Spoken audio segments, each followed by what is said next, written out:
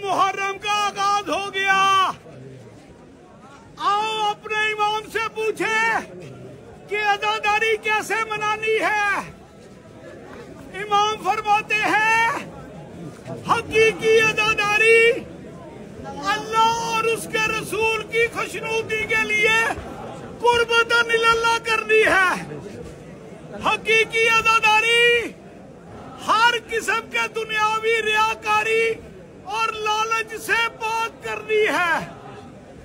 حقیقی ازاداری مقصد قیام حسین کے ساتھ مطابقت رکھے؟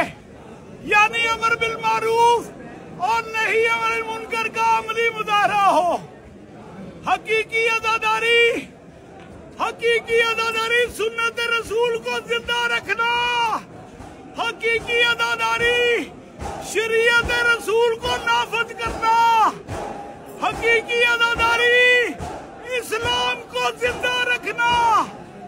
حقیقی اداداری نماز کی حفاظت کرنا۔ حقیقی اداداری پردے کی حفاظت کرنا۔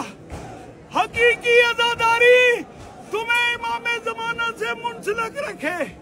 آخر میں امام باقر کا ایک فرمان سناتا ہوں کہ شیعہ، ہمارے ذکر اور ہمارے مصائب کو تجارت کا ذریعہ نہ بناؤ، ورنہ قیامت کے دن ہماری شفاعت سے محروم رہو گے۔